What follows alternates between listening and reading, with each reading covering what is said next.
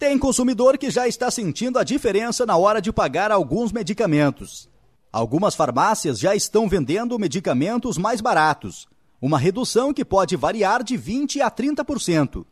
Isso se dá por causa da baixa do dólar e pela readequação de mercado. Até março do ano que vem, a maioria dos medicamentos passarão a ser competitivos. É, o que nós queremos alertar a população de que nós teremos até março do ano que vem alguns laboratórios fazendo uma readequação dos seus preços.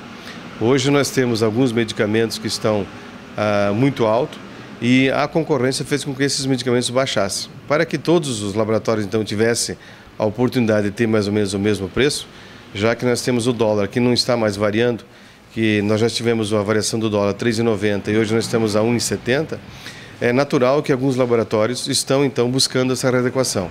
Isso é bom para a farmácia, isso é bom para o consumidor, porque ele vai pagar então, vai ter a possibilidade de pagar alguns medicamentos mais baratos. E a farmácia também vai deixar de pagar então alguns impostos que ela está pagando hoje sobre o medicamento cheio.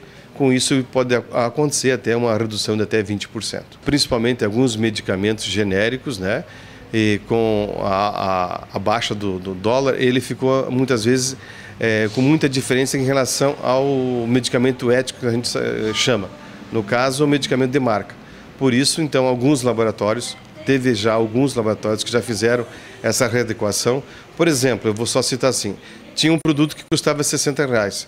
Com essa adequação, ele veio a ser, veio a ser vendido a 40 reais. Então, nós tivemos uma diferença grande de, de, de, de 20 para 60 reais. Isso, então, poderá acontecer em alguns medicamentos genéricos, não em todos os medicamentos, mas existe a possibilidade de que vários medicamentos possam, então, é, ficar mais barato, principalmente ao nosso consumidor. Um exemplo é a sertralina, que é medicamento antidepressivo. Hoje custa R$ 55,97. Com a redução, poderá chegar até 40 reais. Em breve, os antibióticos também sofrerão mudanças.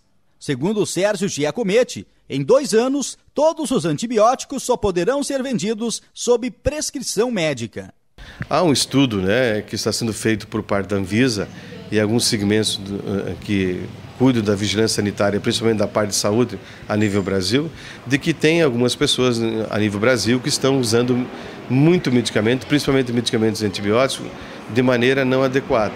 Então há um estudo e eu acredito que nos próximos dois anos, três anos, nós só poderemos comprar medicamentos, principalmente antibióticos, com receita médica.